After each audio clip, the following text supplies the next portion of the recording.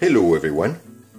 Today's video is a follow-up on the video I made about a year ago and that is about 7 8000 round ago on the firing pin roll pin.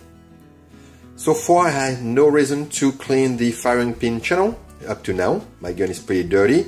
I've cleaned it a few times but now I need to clean uh, really inside the uh, firing pin channel. So that will give me an opportunity to inspect the firing pin and the roll pin and we're going to do it together. So the first step will be to take down the gun.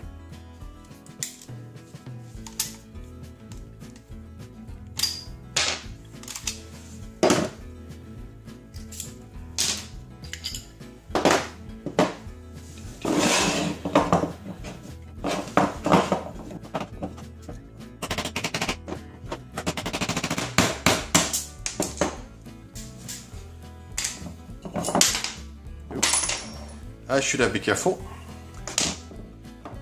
Alright, everything is out. Now, let's inspect the roll pin.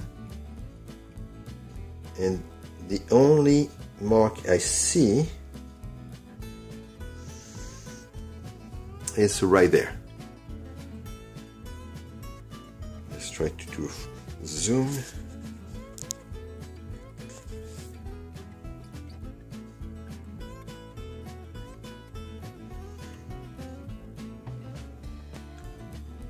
Right here. So absolutely no damages or very little damages on the roll pin after about 7 8000 round. Let's take a look at my firing pin. This is an extended firing pin. The firing pin sits this way with the roll pin. You have the firing pin and you have the roll pin right there. And if we take a closer look,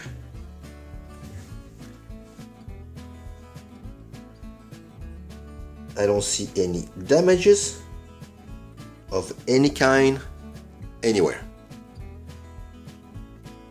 So this one is going to go back into the slide after I clean the gun.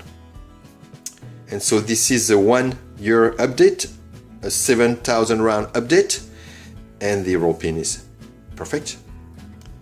So until next time, see you guys.